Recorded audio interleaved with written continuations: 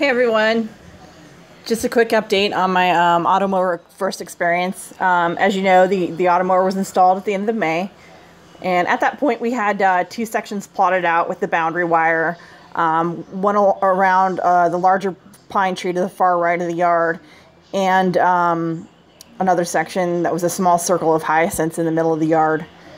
Now, at that point, if I were smart, I would have had the person who installed the initial boundary wire just go ahead and create the boundaries around the other trees in the yard. But I honestly, I can't complain because most of the hard work was done for me.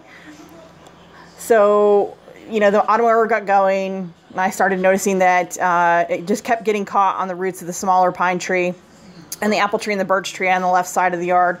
Now, these are all older trees, so they have very tall roots that are very exposed. So I don't really fault the Automower on that one. Um, it's just doing its job, and we've got old roots that are sticking out. So I decided to uh, try to create some new boundaries around the other trees. Um, unfortunately, I decided to do that on the hottest day of the year so far, so it took a little bit longer than I thought it would, and I think I lost probably five pounds in water that day. Um, so to get started, basically what I did was I, I dug into the starter kit um, of the Automower, and that only has um, three pigtails. And the pigtails are actually what you use when you need to splice new sections of the boundary wire into the main boundary wire that you've already created.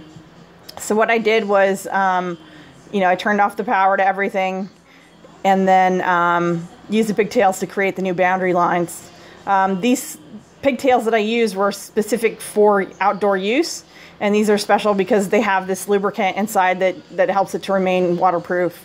So if you decide to use or get pigtails, um, make sure you get the ones that are made for outdoor use. Um, I just found them online and ordered them. I had them shipped overnight so that I could get it done. Um, so now I've got a huge stash for when I extend the boundaries um, later in the year.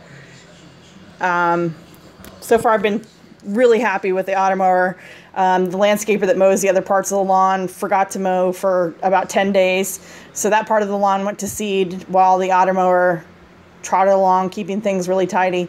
Um, you can see in this picture kind of um, what the Automower has been doing. It's been keeping things nice and trim.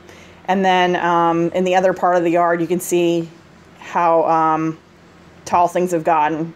So I've been really happy with it so far. Like I said, um, it's been great. Just goes out and does its thing. It's quiet, um, doesn't disturb anything. So kudos so far.